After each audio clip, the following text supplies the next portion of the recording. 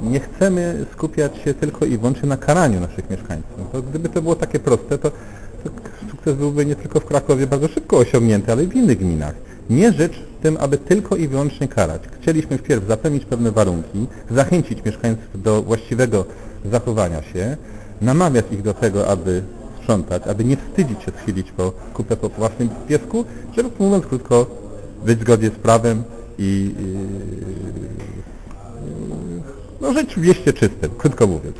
E, To jest pewien sukces. E, Ja uważam, że po ten mandat na, tak naprawdę należałoby sięgać ostateczności, ale zapowiedzieliśmy, zapowiedzieliśmy, że zapewniając warunki, e, stwarzając możliwość bezpłatnego uzyskania tego woreczka, będziemy też częściej sięgać po bloczki mandatowe i tak istotnie jest. Zdecydowanie częściej nakładane mandaty karne, kierujemy wnioski o ukaranie do sądów grodzkich niż udzielamy pouczeń.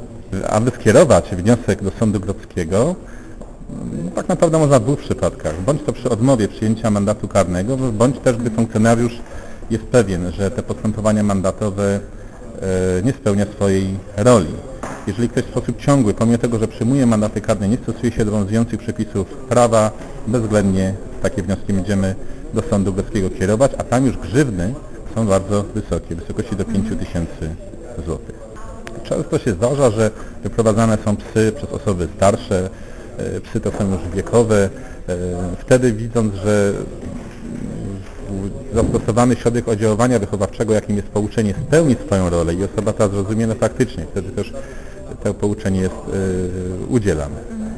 Znaczy, że dotyczy ono tylko osób starszych? No, no to są sprawy jednostkowe. No, funkcjonariusz ma prawo oceny sytuacji e, na miejscu. Bywa tak, że ten pies pozostawi e, odchody, natomiast po e, stwierdzeniu tego przez funkcjonariusza, jeżeli nastąpi uprzątnięcie, jeżeli faktycznie widzimy, że ta poprawa jest nie jednorazowa, ale stała, no to istotnie może funkcjonariusz również takiego pouczenia e, udzielić. Ale generalnie Straż Miejska w Charkowie nastawiona jest w tym zakresie, w tym rodzaju wykroczeń represyjnie, częściej sięgać będzie po mandaty karne, co jeszcze raz wyraźnie podkreślam, choć dodaję, nie jest to jedyny, nie jest to sposób na rozwiązanie problemu psików w Krakowie. Chcemy po pierwsze stworzyć warunki do tego, aby te psy można było gdzie wyprowadzać. Chcemy zachęcić mieszkańców naszego miasta do zbierania tych odchodów. Zapewniamy im na chwilę obecną bezpłatne zestawy e, i można je na dzień dzisiejszy odbywać w 75 punktach e, miasta. To jest pewna zachęta z naszej strony. Chcemy również przekonywać prawnie, że to nie opłaca się, mówiąc krótko, bo grzywny są wysokie. Psy generalnie wyprowadzamy na terenie całego miasta. Są miejsca, jak chociażby parki, gdzie są pewne ograniczenia, e, ale generalnie cała, cały teren miasta Krakowa jest przeznaczony do wyprowadzania psów i my absolutnie tego nie, zamierz, nie, nie zamierzamy w żaden sposób zmieniać. My natomiast naciskamy i wyraźnie podkreślamy, że należy potem się posprzątać. E, Planują Państwo stworzyć specjalne miejsce dla piesków. Gdzie to będzie? E, No to może nie tyle my. Ja jako komendant Straży Miejskiej wystąpiłem do e, wszystkich rad dzielnic, e, zapoznając ich w ogóle z akcją, zapraszając ich do udziału, a ten udział polegałby na chociażby na stworzeniu miejsc takich wyprowadzalni, podobnej jak funkcjonuje na Ploniku Czerwonym na ulicy Strzelców. Mamy już pewne sygnały pozytywne, mnie to cieszy, za wcześnie jeszcze mówić o konkretach, ale myślę, że na wiosnę już będziemy się mogli pochwalić takimi nowymi wyprowadzalniami. No ale też muszę to powiedzieć, nie wszystkie rady dzielnic podeszły do tego tematu e, moim zdaniem zbyt poważnie, twierdząc, że jest to problem marginalny, że można w mieście się zająć czymś innym, a niekoniecznie e, psami. Uważam, że należy ich przekonać do tego akcji. To jest zadanie również dla komendanta Straży Miejskiej. Czy mają Państwo taką wiedzę, kto częściej sprząta po pieskach? Czy są to młode osoby, czy są to starsze osoby? Jak to wygląda? Czy mają Państwo taką, takie statystyki? To znaczy generalnie reguł nie ma.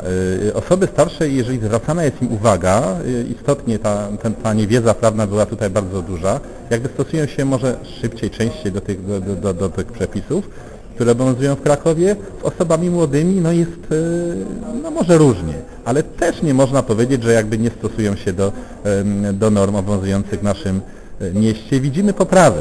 Y, Mam nadzieję, że tą poprawę nie zauważa tylko komendant Straży Miejskiej, ale mieszkańcy e, Krakowa. Choć jeszcze raz podkreślam, wiele jeszcze jest do zrobienia i ten sukces to za wcześnie jeszcze e, ogłosić. Będziemy na pewno przez parę dobrych lat tym problemem się zajmować. Liczę na to, że uda nam się jako pi- pierwszej gminie w kraju e, ten problem, e, problem cuchnący w mieście rozwiązać.